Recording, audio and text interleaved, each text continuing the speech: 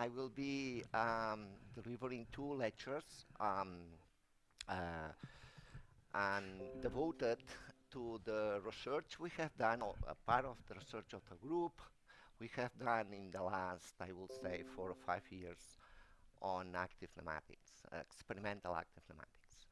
Um, the way I have organized uh, these two presentations is uh, I have divided it into, into several, seven actually, seven sections, uh, each one with uh, its own perspective, its own question behind.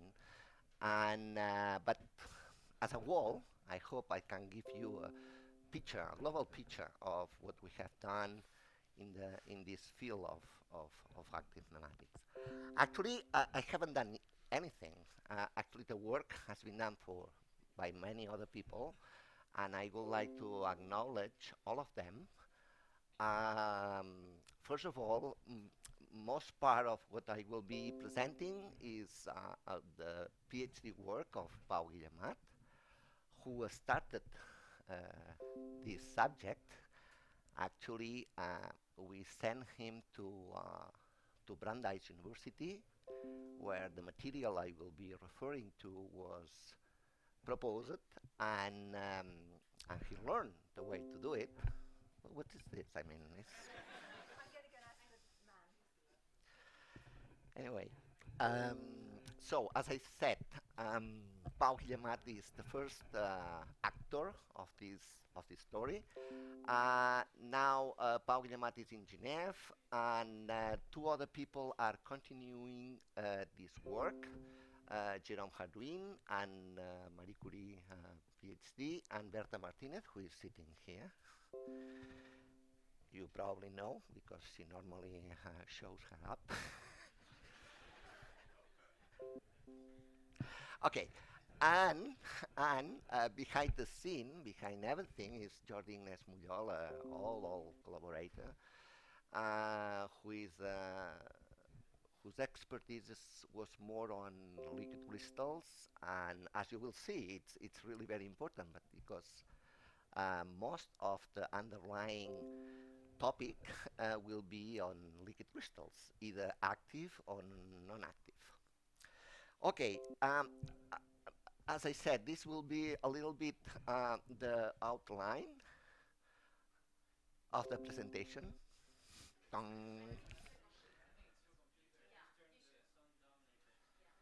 The what? The sound down? Okay, perfect. Sound is not there anymore. Let's try. Okay, maybe it's better.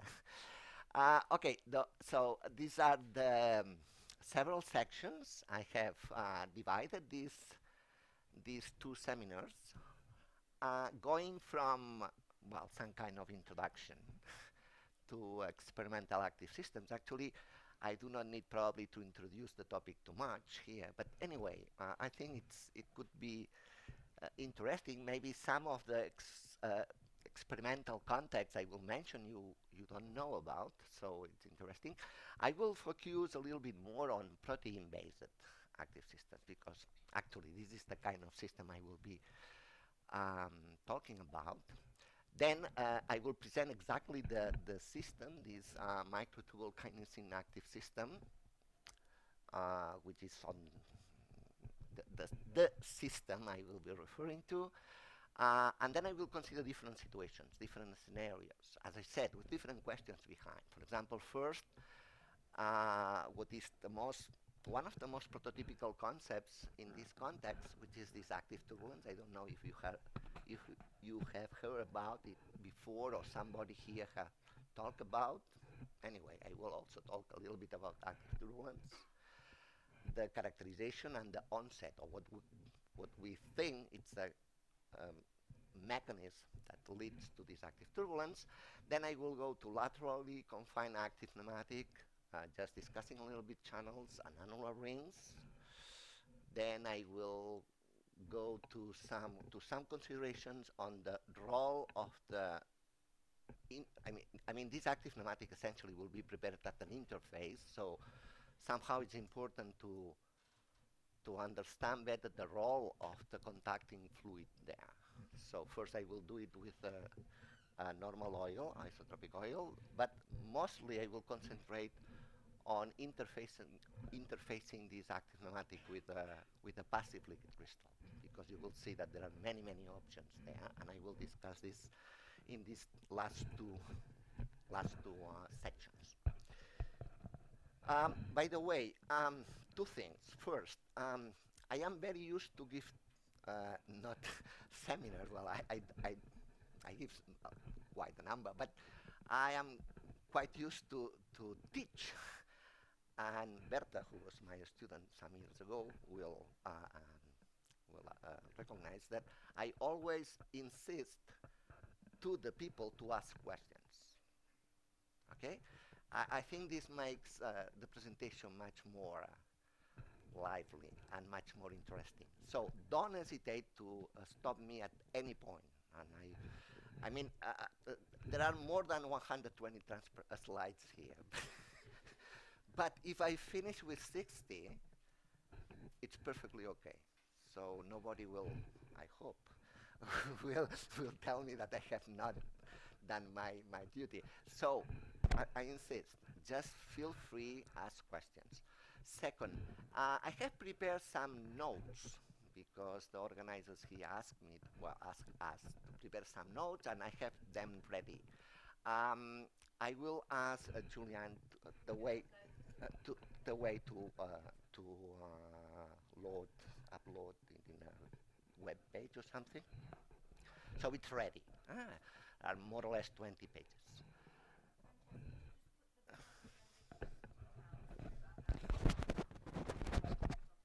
This I am not used to. I don't like. Okay, thank you. And uh, let me make a little bit of propaganda. uh, just two weeks ago, uh, a review paper co-authored with uh, Julia and other people, people in Oxford and in Barcelona, appear in NatCom. It's kind of review on active nematics. So I suggest you to, if you are interested, you can go there and you will find. Okay, so first, context, experimental active systems and especially protein-based.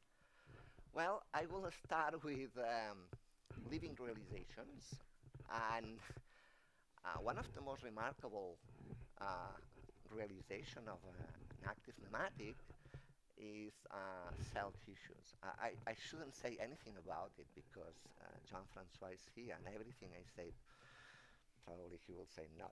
but, but, but anyway, um, cell tissues uh, is, is really a string example of an active nematic and the nice thing is that this is not an idea that comes that has come very recently. Actually, uh, some observations, um, like 50 years ago, already suggested some sort of uh, or, or, suggested the idea to use nematic concepts or the concepts of liquid crystals, of normal liquid crystals, to, to be applied to, uh, to cell tissues. So the idea is not, is not really new, but what is new is the new perspective, the new well-dedicated experiments, very well done experiments by many groups, and the nice theories behind these experiments that uh, uh, permit uh, to understand better the experimental system and in the same time to try to predict new things from the theory behind, using the theory normally of, of active gels or active nematics. Um, uh, apart from these uh, very old, very classical uh, examples, I mentioned three papers that appear more or less in a row last year in 2017 by different groups.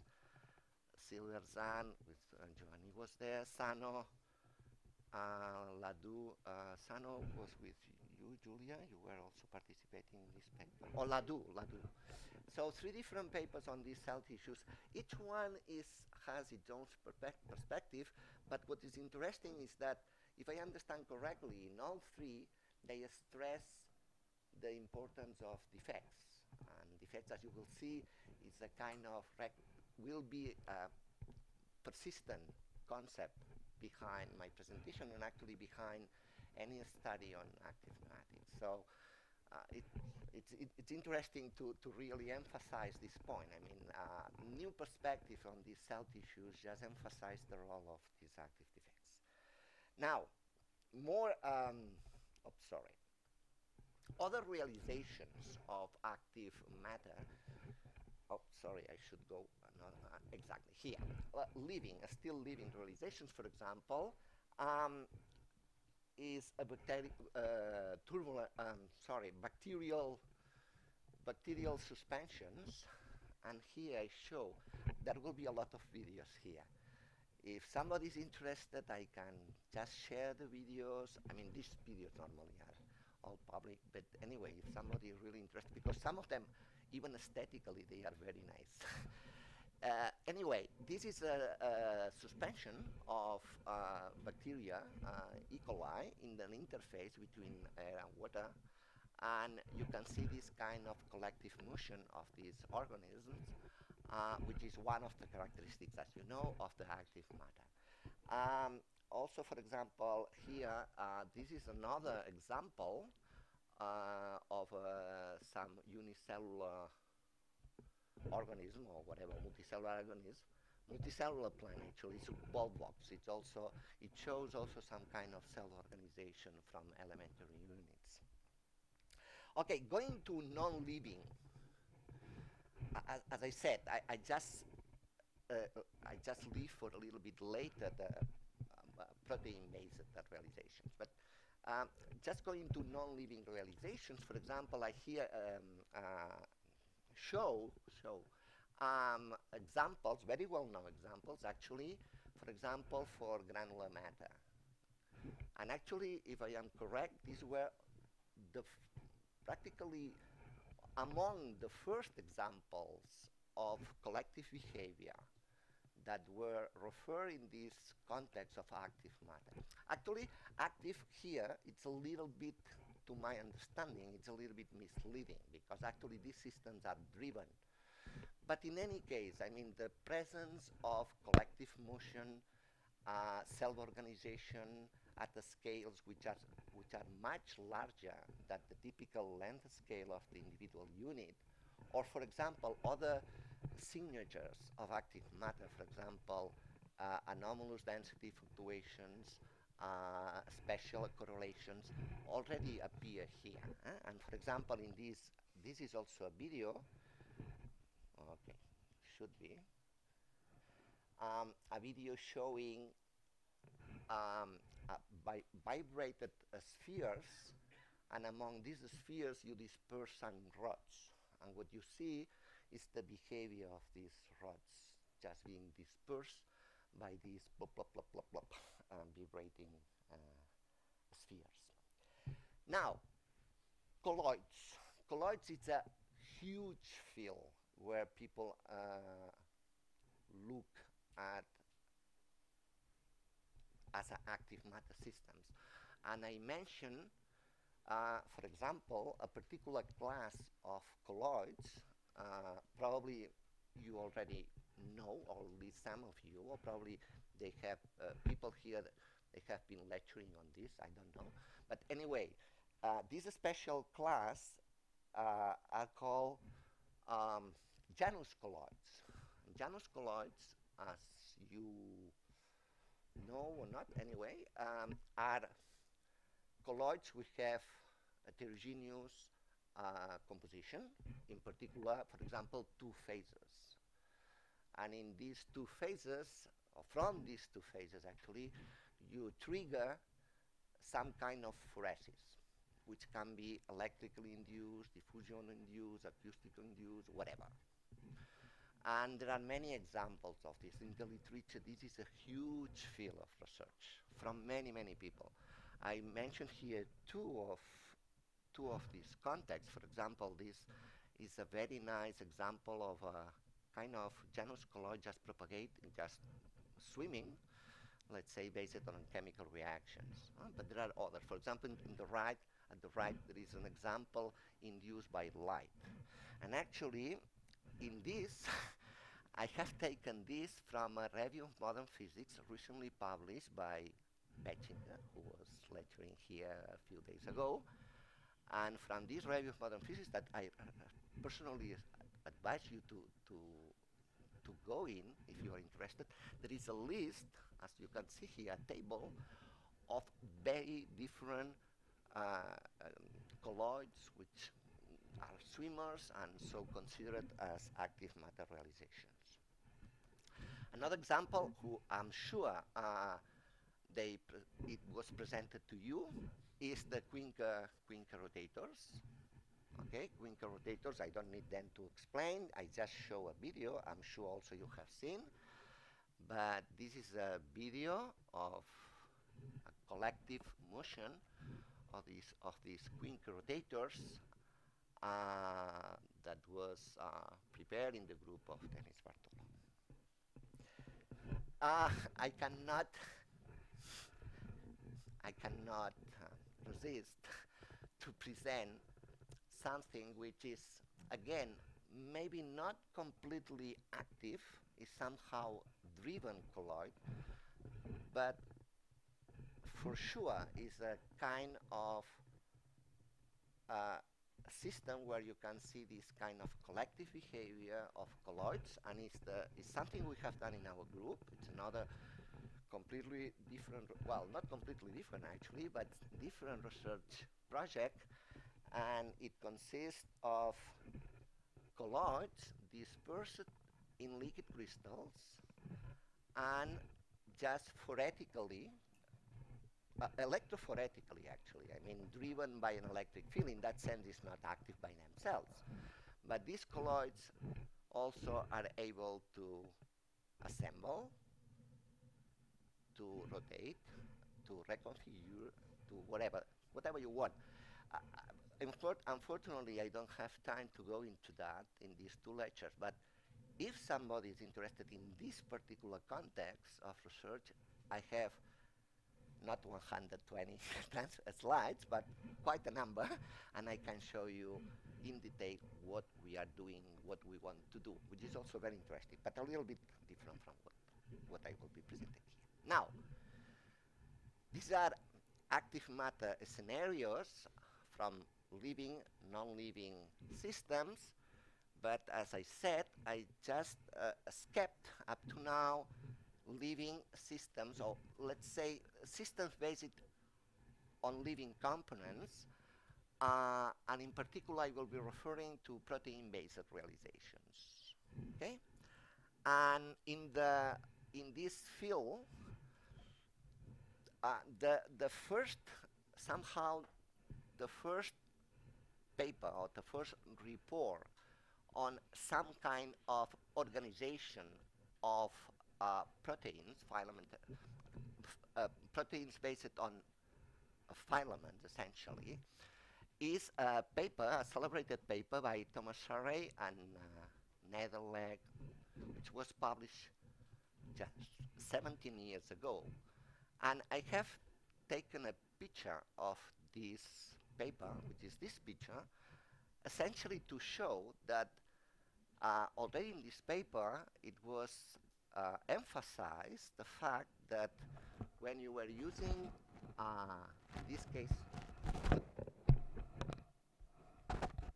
when you were when you use uh, or when these guys use microtubules, which will be the central one of the central protagonists of, of my talk, and some motors, again a central actor in this story, you can have self-organization.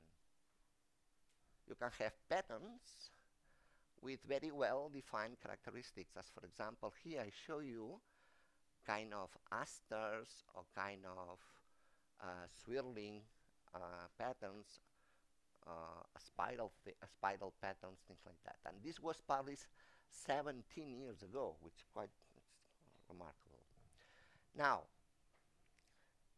the community working with these uh, kind of proteins essentially, or the community uh, where these kind of systems are considered as active matter systems, um, uh, essentially devoted a lot of efforts to uh, motility assays. which are uh, quite simple to, well, simple, I don't know, I've never done this, but probably are very, let's say, robust and simple to run. And uh, a very, a very, um, let's say, a very important uh, group uh, doing this kind of uh, motility assays is a group by Bausch, uh, first in Munich, now in the States. And in 2010, they published a, a also a very nice paper on actomyosin motility assays.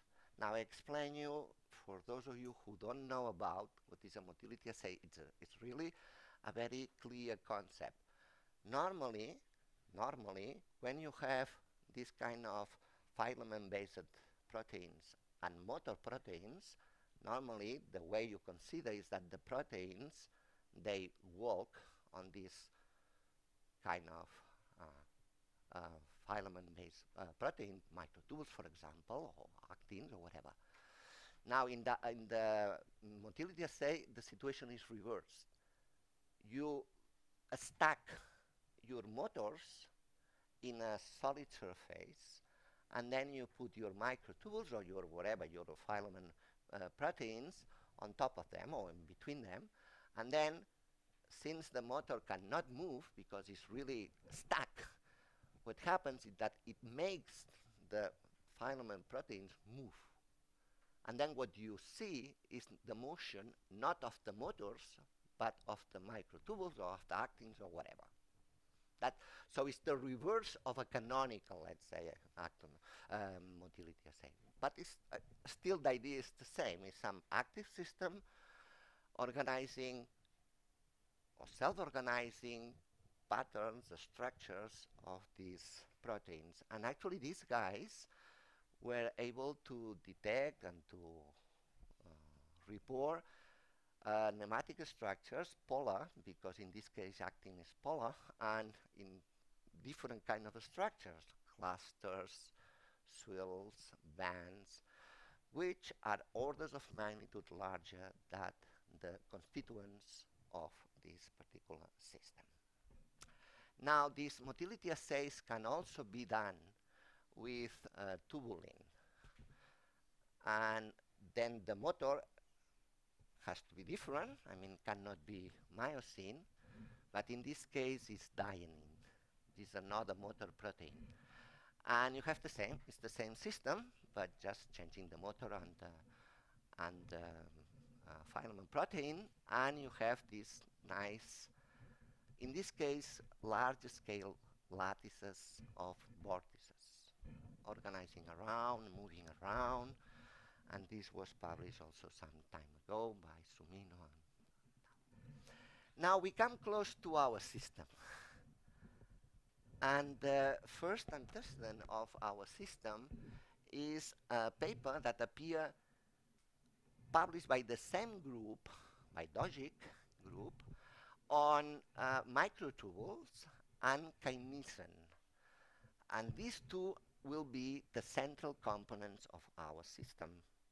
And these people reported a situation where they were able to replicate somehow, to mimic, the cilia beating. Cilia are this kind of small, how to say this, extensions of the membrane of some protozoa, whatever. And you know that they are very important because they move and they organize collective flows, and this is something also pretty much studied. Now, uh, these guys um, in Brandeis, they were able to propose this kind of minimal replica of these cilia based on these microtubules and motors. And now I come to the central paper. Without that paper, I will not be here. And I recognize that. Without this paper, this research, no, I'm, I'm pretty sure, I have to be honest. So this is the paper that inspired us a lot. Actually, I remember I was visiting Brandeis uh, maybe five, six years ago, but actually I was visiting uh, not uh, Sonny but I was visiting Seth Fraden because this guy I know I know him from many, many years in liquid crystals. And Seth Fraden said, oh, Francesc, you should go to the lab of uh, Johnny because he's doing very nice things. And I said, why not? And since that point, I think my, my life changed. well, I am a little bit dramatic, but well, you know. Uh, it's true. I discovered a system that passions me, and uh, and I got in love with this system from the very beginning, from the first time I saw it, which is something maybe a little bit dangerous. But anyway, in this in that case, I think it's not dangerous. Okay, so this is the system published there, Nature uh, 2002. 470 or near 500 citations, which is not bad. And these guys were considering the idea to prepare an active system based on uh, self-assembling of microtubules and shearing, internally shearing these microtubules with kinesin motors. And the possibilities of the system are huge, as you will see, and and we have uh, worked a lot on, on, on this system for the last five or few years. So this finished the first part. This was the introduction. Questions? Questions?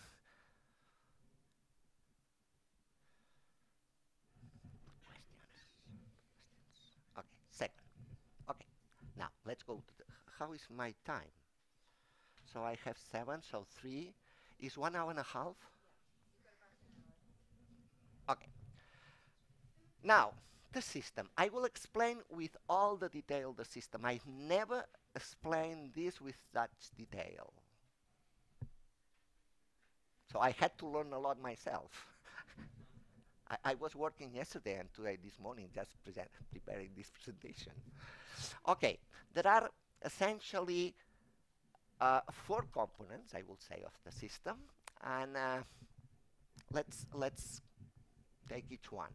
Microtubules, motors, kinesin. These kinesins actually they work in a cluster way, so they are clustered. Normally, two kinesins are clustered by a streptavidin, which is a linker. And then there are two more components. One which is very, very important is PEG, polyethylene glycol. That's a chemical compound which is very important, as you will see in the following slides. And finally, the fourth very important component is ATP. ATP is the fuel, is the is what fits the kinesin and make these motors move. Uh, so ATP is also very important. Now I will take them separately, okay? And I will explain each one. This is from, as you can recognize, this is from internet. it's the first time in my life I copy directly from the internet something. Anyway, um, these are the microtubules. Microtubules are proteins made of filaments of proteins.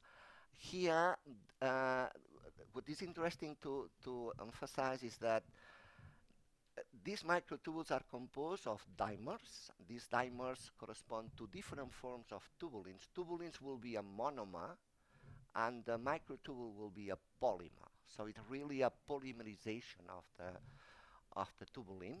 Now these two dimers, they organize in a kind of helical way, forming a filament. This filament is very dynamically unstable. So it polymerizes and depolymerizes, and everything is controlled by GTP, GDP, as far as I understand. Now, in our uh, okay, and by the way, I, I, give you here some numbers because it's always important to have numbers here. So in principle, the microtubules can be very long. Actually, the persistent length is very, very high. Can be up to 50 microns. Now, the, the dimensions of these of these circles of these uh, tubes is like uh, between 24 exterior radius and or diameter, sorry, sorry, and 12 for the inner diameter. Okay, these are the tools. Oh, I cannot resist to show you this. I'm pretty sure who who of you have seen this video? Okay, I skip it.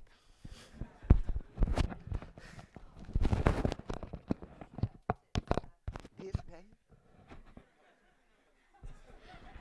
Probably got it the wrong way up.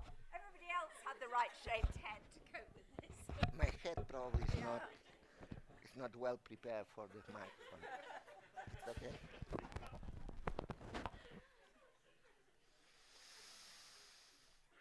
Okay.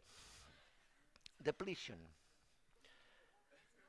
These microtubules will get assembled. Okay? And to assemble them, rather than to use some very complicated chemical stuff, we just use a very basic physical principle, which is the deplete, depleting action. Probably all of you know about depletion. I just remember very briefly. Uh, the depletion in this case is uh, is due to this PEG, and in that sense it's very important. And the depletion means essentially that when you have these polymers like these uh, small uh, things there, and these polymers are dispersed in contact with some big colloids. Now these polymers want to have free solvent to dissolve. So the idea is that if they make the colloids close, then the the the uh, regions around the colloid which are not reachable by the by the polymer, they overlap. And in that sense, by making the colloids contact, the polymers have much more free volume to dissolve because you overlap the, the un inaccessible regions around each colloid. This is the principle of depletion and this is known for many, many years. This is, uh, can be interpreted as an entropic effect and actually there are many, many papers going. Now, this in our case is also very important. Why is that important? Well, microtubules under the action of this PEG, they assemble and they form bundles. Each uh, filament is uh, of the order of 1.5 micron, each individual filament, and this is very important. Now to get this, we have we have to use a kind of chemical compound which avoids the polymerization and depolymerization of the microtubules. So somehow we tune the polymerization, depolymerization of the system in order to keep this 1.5 micron filament. Now these filaments, as I said, they are a bundle under the depleting action of the PEG.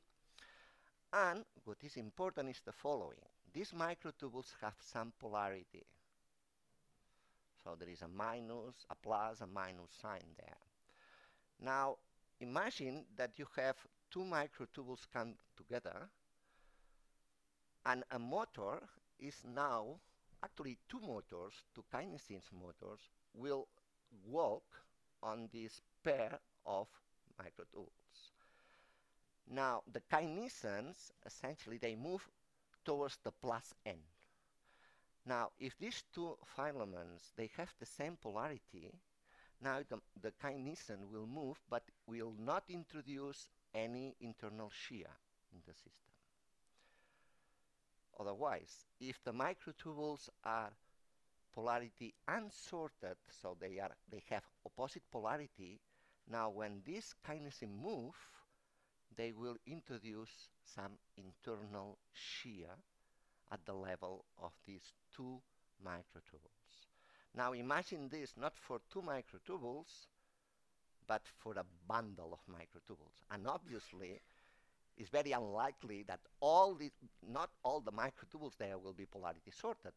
So actually, my understanding of the system is that the system is active because it's permanently, permanently looking for being polarity sort, but they are the system is never polarity sorted. And what happens then is that these bundles stretch under the action of these motors, they buckle, they fracture, they recombine, and you get a permanently renovated system, which is the active gel I will be considering. And it is permanently renovated as soon as you have ATP, obviously, because ATP, again, as I said, is the fuel for these motors. So that you should also consider uh, to have enough ATP. In our system, what we have is a regenerator of ATP. So ATP is, consum is, is consumed to ADP, but we have a regenerator, so our experiments might long for hours. Okay? Now, in this case, and I'll show you again this. These are the microtubules. These are the depleting action of the PEG, Uh, these are the motors, two motors, and this uh, circle is the what I call you the cluster, the cluster of the stabilim. And what you have is essentially this active gel. So this, what you see here is the polarizing microscopy because some of these tubulins are labeled with, with uh, some fluorescent tag. And what you see here is the fluorescent image of this active gel. This is prepared in water, no problem with that. And you see, or I hope uh, you have seen, that um, as I said, this system is continuously being buckled, extended, fracture, whatever, recombine. Now, this is very nice, but I think this is even better. Now, what is this? The previous image corresponds to a an active gel. So it's a 3D system. It's a bulk system. Now the system is very nice. The active gel is very nice, but the problem is somehow that it's very, the, the density is very low. It's a very tenuous system. And we, we wanted, well actually Dogic and company wanted to have a much more dense system. Now the idea is simple.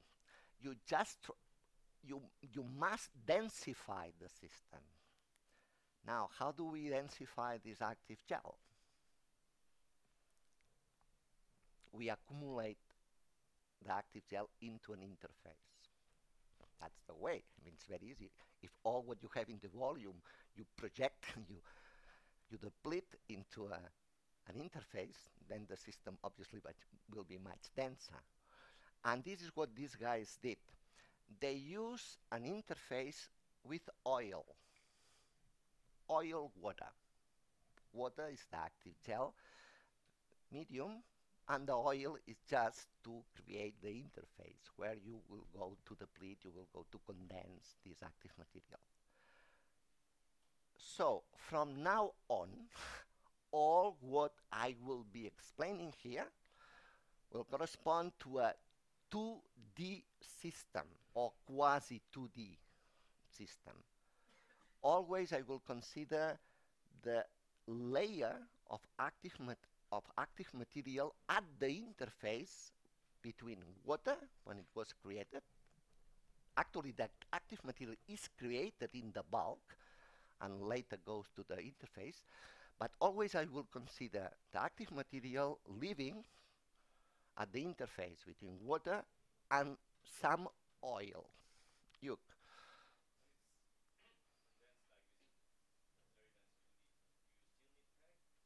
Exactly. I wanted to go into that. Actually, to get this, we use not only PEG at the bulk, but we also use PEG at the interface. Actually, the interface is stabilized with a surfactant which has PEG. So PEG is everywhere. That's true. It's, it's funny, but it's true. If we don't use a PEG-based surfactant, we have used a lot of different surfactants, but if we don't use a PEG-based surfactant, you don't get this. No.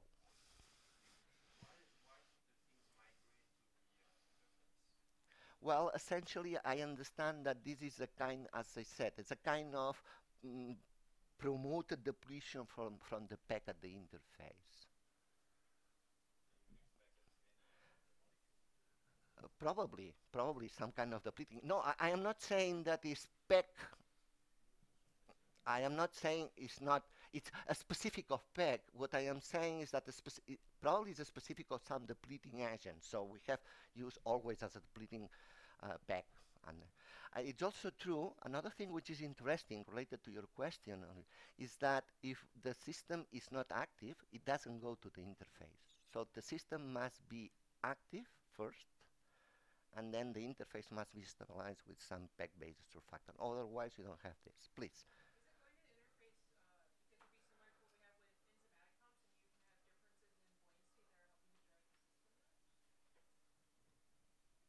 I don't know. You mean it's a question of buoyancy effect that keeps?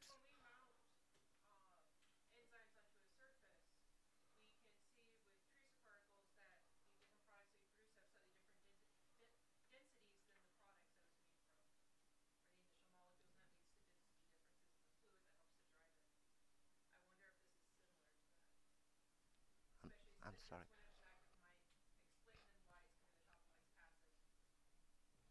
It may well be. I don't know. I, I really don't know. Maybe we.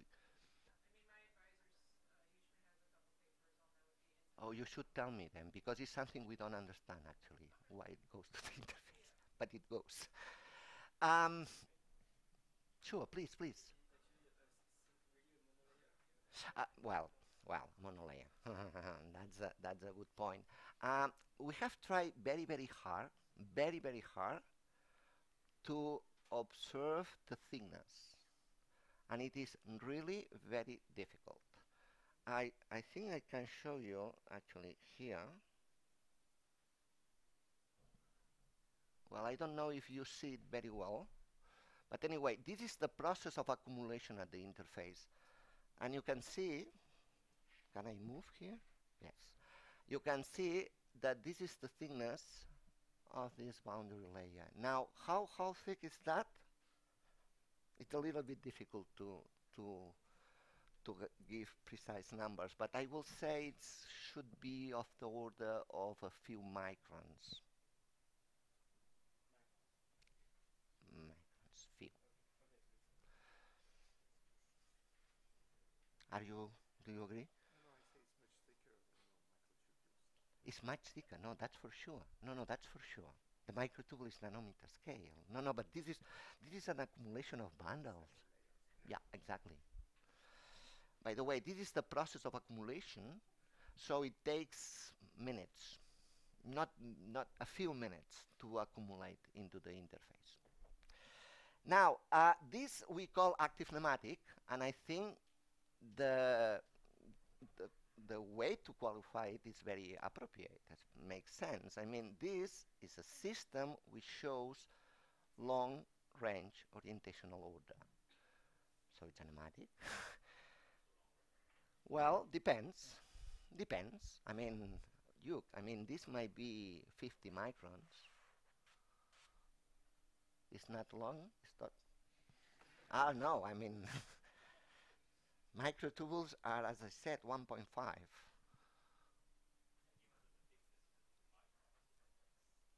The thickness should be the thickness of the of that layer should be around maybe a few microns.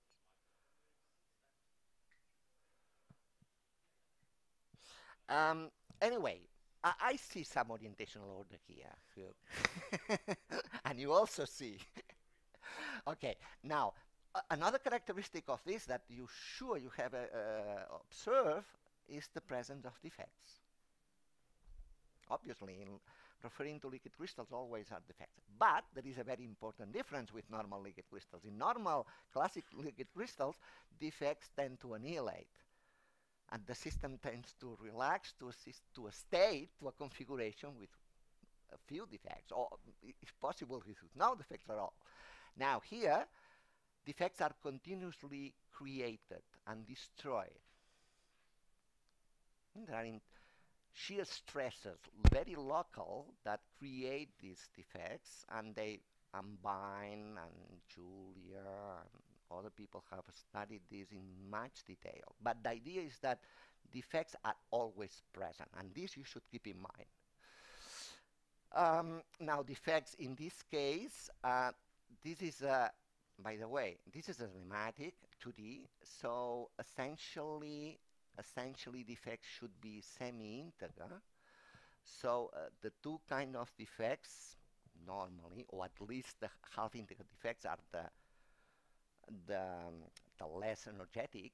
Um, the two kinds of defects are called plus one half, minus one half. Plus one half is this kind of parabolic shape, and minus one half is this kind of triangular or trefoil or whatever.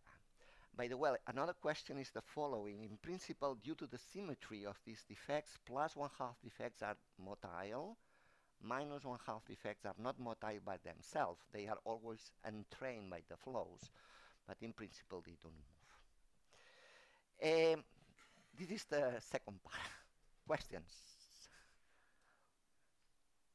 Is that clear, the system? Please, you.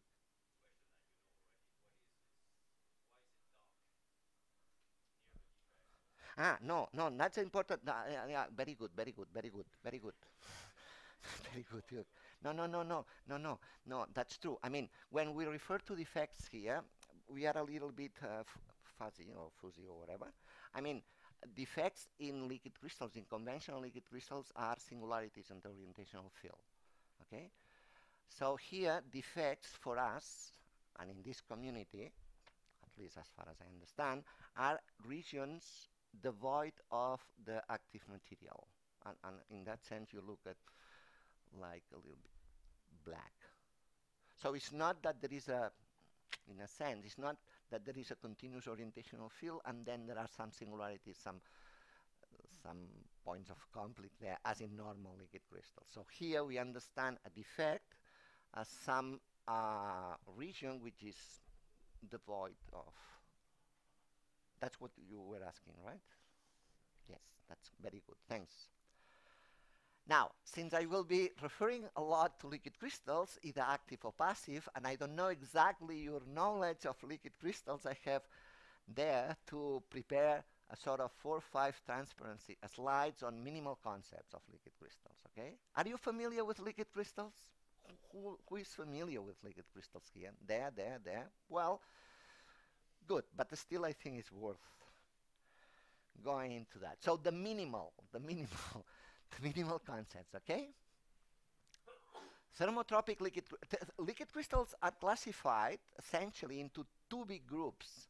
One is called thermotropic liquid crystals. The other one, the other big family is lyotropic liquid crystals. Now, thermotropic liquid crystals is very easy to remember. Thermotropic liquid crystals are single components, are oils, essentially. Lyotropic liquid crystals are not single components. Normally they are based on dispersions of surfactants or things like that, but always there are more than one component. So there are not pure components, contrary to thermotropic liquid crystals.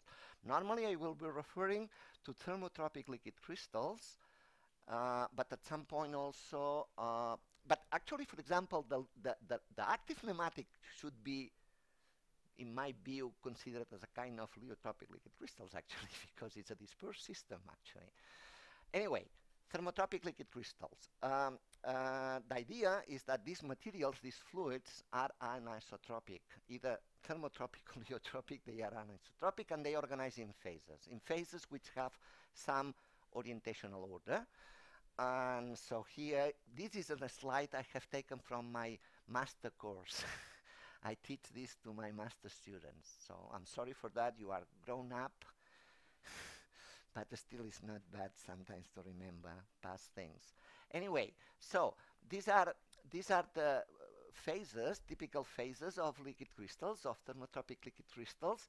Uh, these are the two typical phases intermediate mesophases between the ordered uh, solid crystal and the completely disordered isotropic system uh, phase.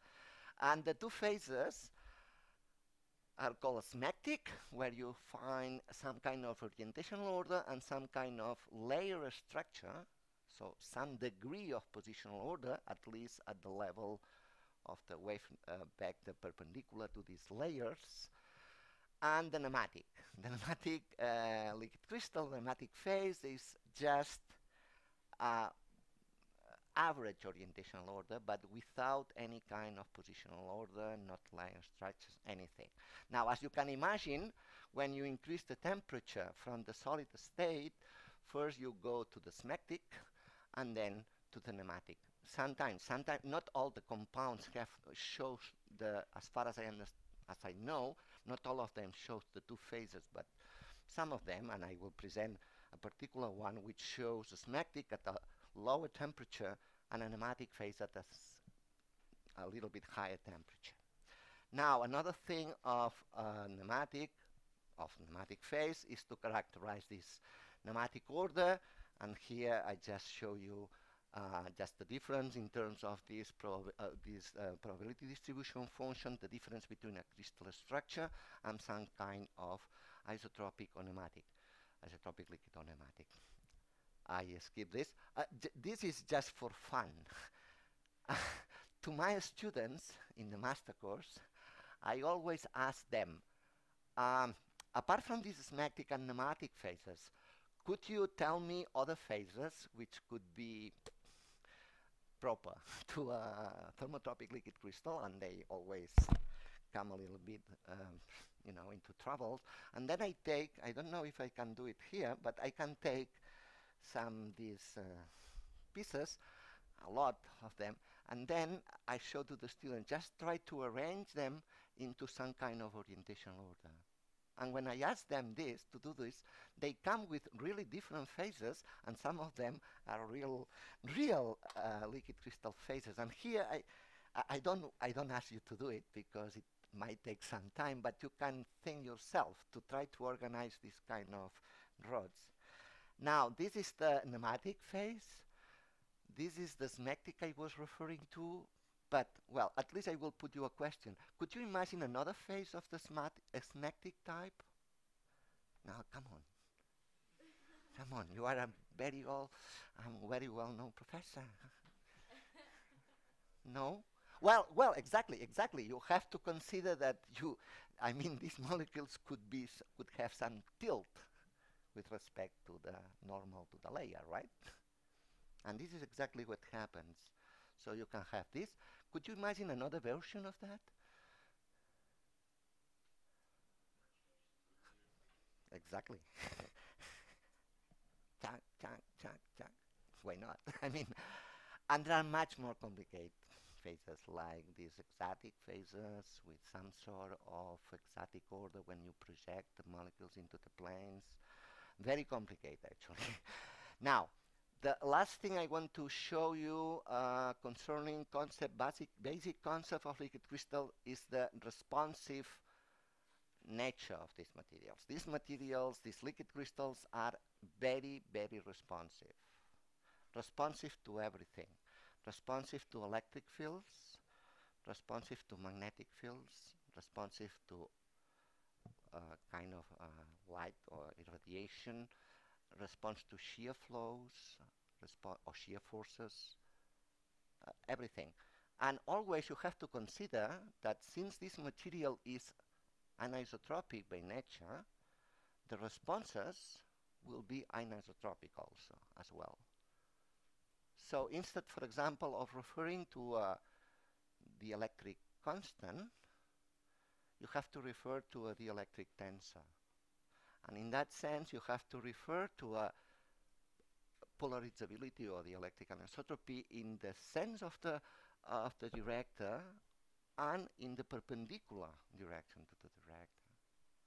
So always you have to imagine that this is really very, very important, the way it responds to electrical magnetic fields. For example, just to, to be very brief, if somebody tells you this material has positive dielectric anisotropy, it means essentially that this component parallel is to the direct is larger than the perpendicular. And this means that the molecules will tend to orient following the applied electric field.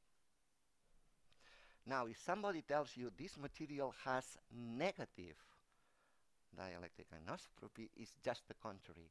The material will, will tend to align perpendicular to the applied electric field. Okay, and this is a characteristics of the of the material of the liquid crystal you are considering. So when you buy a liquid crystal, one of the basic specifications is the positive or negative, and obviously the the intensity of the of the value, but the, the, the sign of the of these values very very uh, the, the, sign of these dielectric uh, properties are diamagnetic properties also are very very important. Now the last thing, sorry, the last thing is defects. I already mentioned defects, so defects is a classical topic in liquid crystal, in conventional liquid crystal, and here uh, I assign to different defects a number. What is this number? Minus 1, minus 1 half. I mentioned already somehow, but what is this number? Winding number, yeah, exactly. So you have discovered that essentially this comes from the orientation of the liquid crystal around the defect. Uh, actually, this is called topological charge, or normally it's called this way.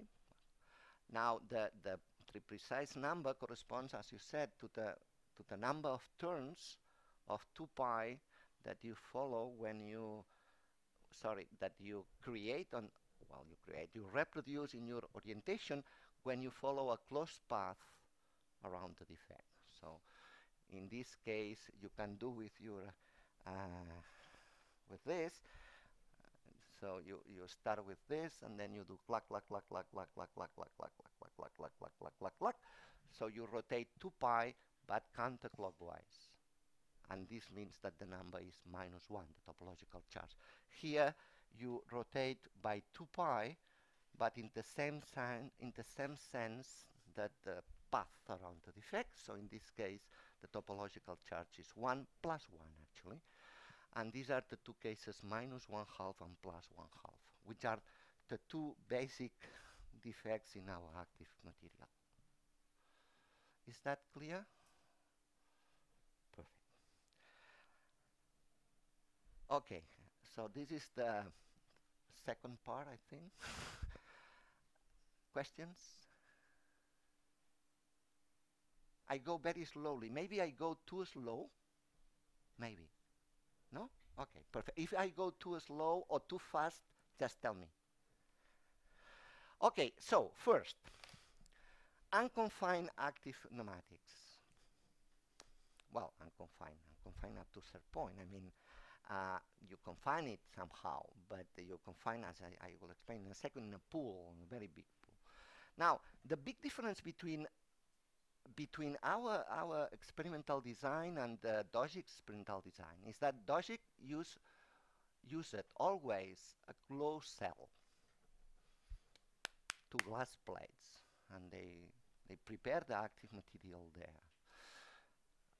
Now, in our case, we always use open cells. And this is for very, very, very uh, reason uh, that you will understand very easily, because in this way we have a better control on the on the interface actually, on the way we prepare the interface, on the way we tune the interface, on the way we uh, we reconfigure the interface. So we always from the very beginning we decided to go into this design, and this is the design we use. So we this is a PDMS block and in this block, we drill some hole. And in this hole, we put the aqueous gel, first active gel. And then on top of it, we just pour some, in principle, oil, normal isotropic oil, not oil of the one in the restaurant, eh? right? silicone oil. but I'm sure will, it will work as well. Now, this is the give, I give you a little bit the dimensions. So the lateral dimension is 5 millimeters, which is really pretty pretty big actually. Now, the, the first obvious thing is to interface this material with an, with an oil, with a silicon oil, okay? And when you do that, by the way, here I show you the surfactant we use. This pluronic is based on PEG, eh? PEG based surfactant. And when you do that, the first thing you observe is something which is nice. What do you observe here? Which is nice, I think, to me. This is, as you can recognize, the active nematic I showed you before. And this is the oil. The oil with dispersed particles. And you see tracer particles. And you see that the motion is transferred from the active layer to the passive phase. And this is very, very important. It could have been that this oil will just keep at rest. Well, probably not, actually. But uh, in any case, it's interesting to see that really the momentum is transferred from the active layer to the passive one. And when you have these tracers, then you can do whatever you want because you can trace the flows and you can get velocity fields, you can get vorticity fields, and you can get everything. You can get correlation of the velocity fields, correlation of the vorticity fields, you can get whatever you want. You can study dispersions, you can study whatever. I will not go too much into this because first because I don't have much time, and second we haven't um, uh, taken too much or paid too much attention to that. I will concentrate on another topic, which is active turbulence. Now, this material, when you look at it, actually is quite irregular, I will say. No, I mean this this um, this state is quite irregular. Seems kind of chaotic or whatever, random. But in fact, there is, a, please.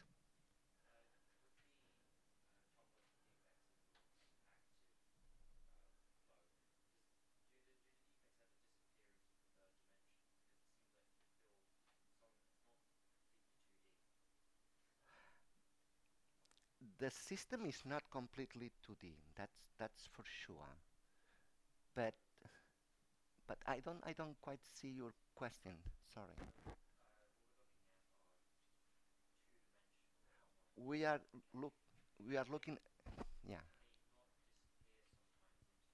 Ah, you mean the defects?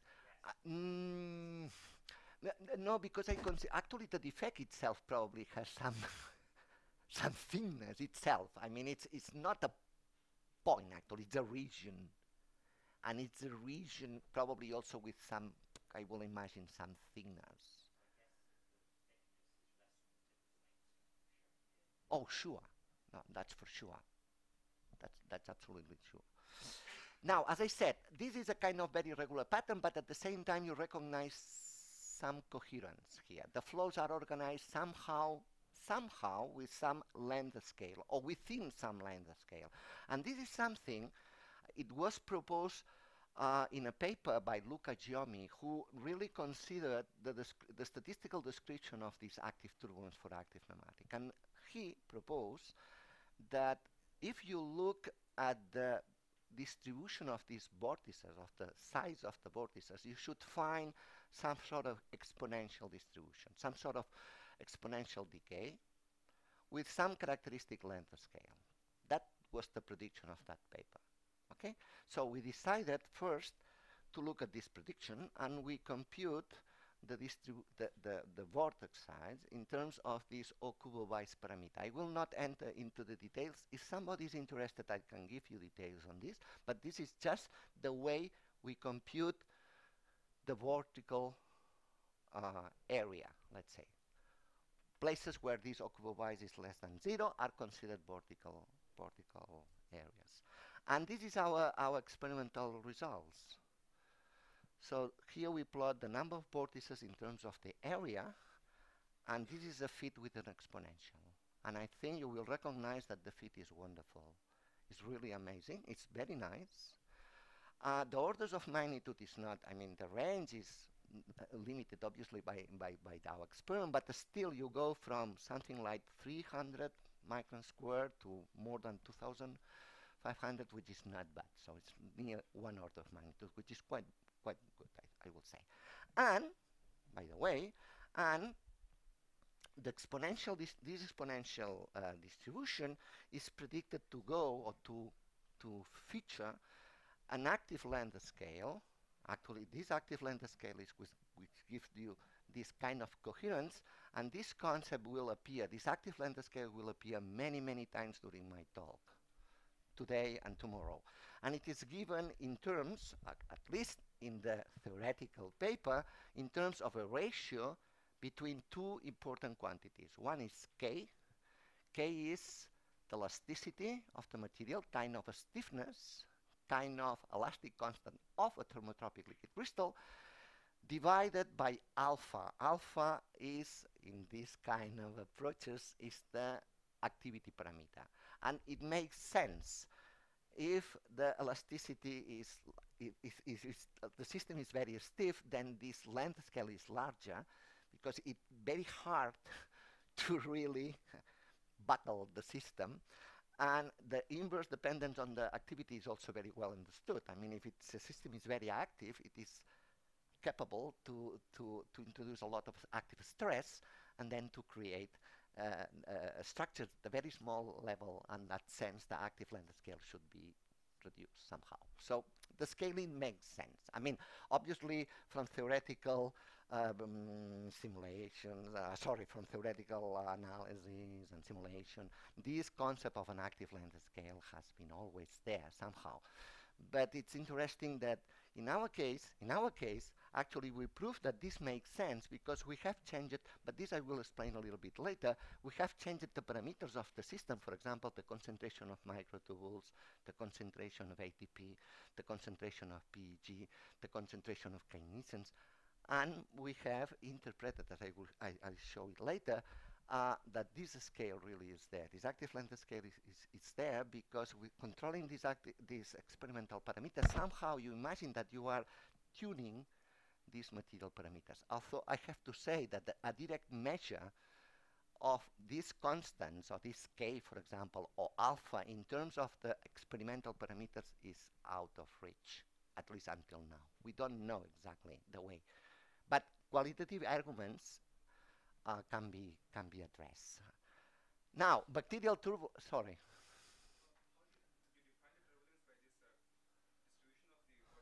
Yeah. So, so, so sorry. F we we apply this this um, indicator, this Okubo-Weiss parameter, uh, after uh, having calculated the velocity fields, and then you in this plots, I show you the distribution of these uh, regions of Okubo-Weiss. And this gives you somehow the area of the vortices. And this is, this is exactly an histogram. So number of vortices in terms of the area of these vortices.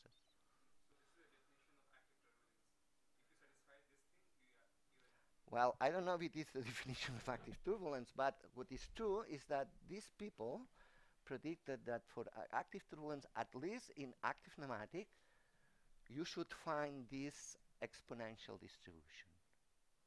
That's the prediction of the paper. And this is our experimental verification of this prediction. I don't know, I don't know if what is considered as active turbulence should always have this. But at least for active nematic, I will say that's the case.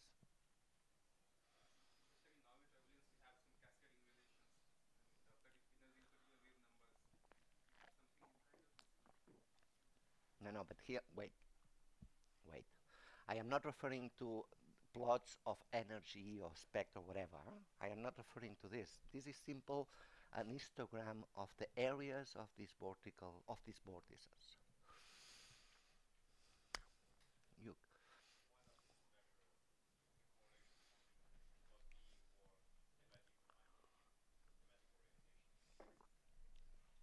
You mean to, to identify this?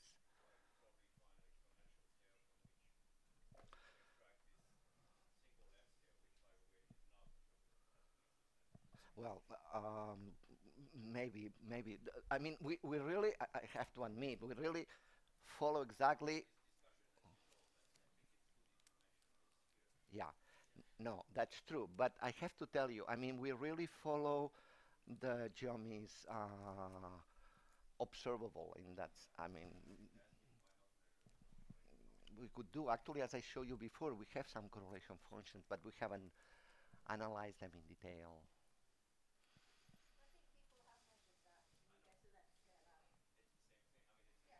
Yeah, yeah, yeah, probably. I, I don't say. Yeah, right.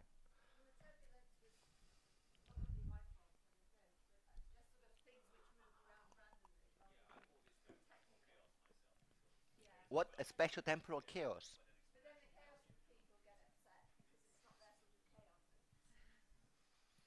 Anyway, no, that's for sure. Now, uh, I, I skip this because this is just to to to say that there are many other um, many other contexts where you can find this kind of active turbulence. For example, in um, in bacteria, in uh, sperm, in cells. Actually, very recent paper. And now I will go to something that I think is maybe a little bit more interesting.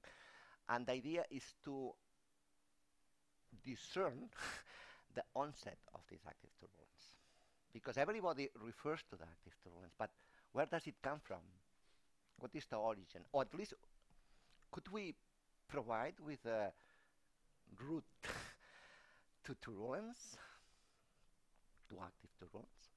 And eh, in principle, if you think a little bit on it, it's, it's a little bit difficult because, as I said, you prepare the system in the 3D phase as an active gel, and then you deplete to an interface. And when you deplete it, automatically the system is very mm, somehow irregular or is disordered by itself from the very beginning. So the idea to create a very well-defined initial condition where you could see or could, you could fetch the onset of the of the turbulence, li- uh, in principle seems to be very complicated. But if you think a little bit more, then you find a situation which can be really addressed in a very robust way, and it's very clever. Actually, it was a little bit of serendipity, and, and Berta could confirm this because he, she is behind this project. It was a little bit by chance that we discovered this. But the, the intervention is the simplest one you can imagine. Look, imagine you prepare your system as normal, the normal way, and then you just place a tube, a capillary tube, and you induce somehow a flow into the tube. With this simple intervention, what you manage is to orient the material. You align the material gradually towards this open end of the microtubule. Ah, so of the microtubule, sorry, of the capillary tubule. And then, once you are in this situation, you just remove the, the tube and you let the system evolve. It's that simple. And this is what happens. This video shows you at this point is the tube, and then you remove it. And this is what you get. Did you get it? um, initially, initially the system. I show you. I show you another time. Okay. I mean, I, I recognize that maybe it's not the best video we have. Better. I think we have a little bit better. But anyway, uh, I repeat it in another uh, in another way. So in that video, you will see not the initial stage of the instability, but some already, uh, uh, I will say not advanced, but after some transient. Look at it. You see some kind of arrays or whatever of lines with the material very well aligned somehow, and then you will see what happens.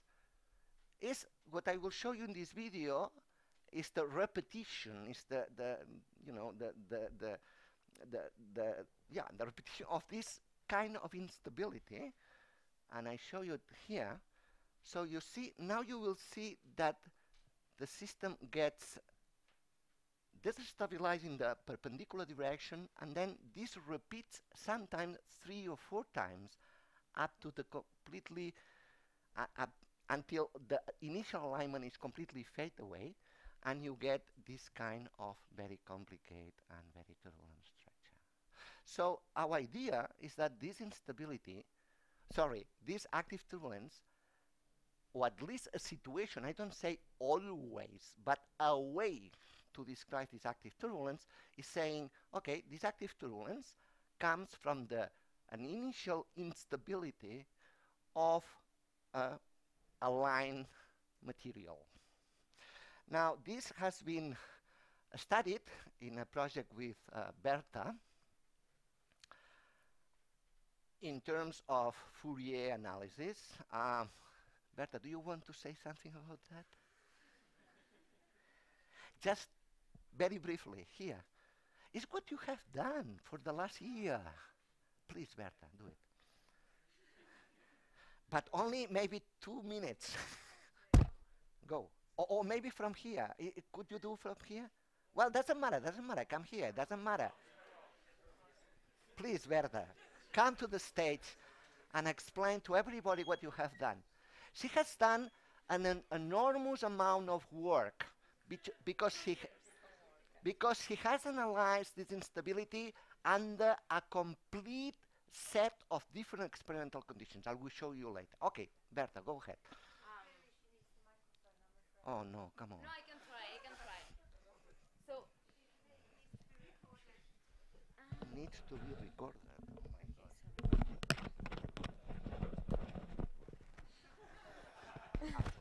Now, do you hear me? Okay. Um, okay. I will use the cupboard because I think that it's much easier. So, as you see, I, as you saw in the previous slide, we have this kind of patterns. So what we do is we transfer this to well um, to we perform a, uh, perform an FFT analysis. So you would have something like this, well with many points here and maybe here. Uh, and we measure the amplitude of the FFT and we look this over time because finally when you have the final state with turbulence you just see noise. So you have many points. Um, and this is what you see here. Yeah that's it. Sometimes so when because is these are experiments so anything well nothing is perfect here so sometimes you just see like a piece of here so um, you wouldn't have this radial um, this thing. so you would have something like this. So what we do is um, we just measure the amplitude of the wave numbers of in the FFT, and, yeah, that's it.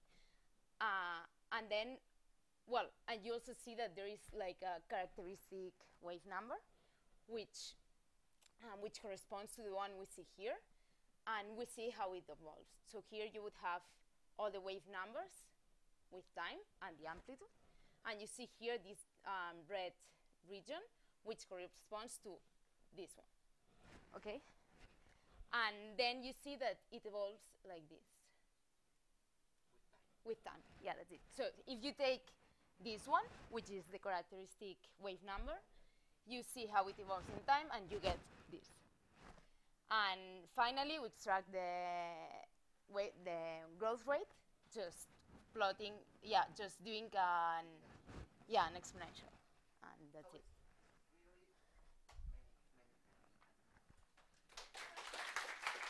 Questions? Yeah. Do you also get uh, an angular pattern? Or what do you mean? Like is there a periodicity in the angular structure of the Fourier transform? Here? Yeah. Yeah, yeah, more or less. I mean, so what we usually do is we take like um, so here, if you have this radial, we make like an average. So you can take, or you can extract the wave number. Is, was this your question?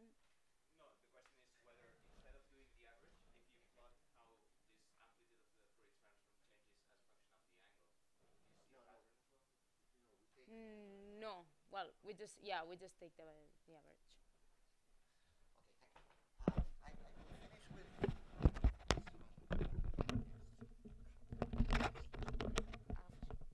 Okay, so this is this is exactly what what Berta explained to you is essentially the practical realization of a linear stability analysis. Sorry.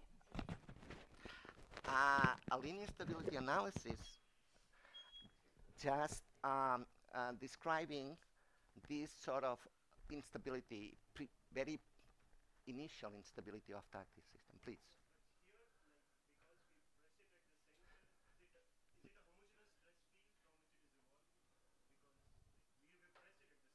we, we don't press we don't press we just um, the, the, the flow the, the, with the with a tubular with a capillary um, tube you somehow uh, make uh, mm, a flow going into the capillary so it's just an entrainment it's not pressing it's not applying a pressure uh, it's applying a depth pressure let's say somehow Yes, yes, right, exactly, off the flow. Yes, exactly, exactly. And I think it will be just following the, symmet- the symmetry of the, the circular geometry of the system. That's what I imagine. At least at the beginning, when you remove it, then the system is, is free to evolve. Anyway, since I think I am just no, pretty much end, at the end, I just show you this amount of different experiments where we have compute this k max, this uh, uh, wave number of the most unstable mode and the growth rate of this most unstable mode. And we have done this by changing different parameters like ATP, streptavidin, microtubules, and polyethylene glycol. And I will explain this tomorrow. But essentially, we have an argument to show that this, what we have, what we show here is just an instability which is well known for uh, extensile ordered active material predicted already by Voituriez and many others many years ago. And what we have done here is just to capture it from the beginning, and from that we have obtained some dispersion relation. Okay, so thanks for your attention. I, I, I, I finish here. Tomorrow a little bit more. Thank you very much.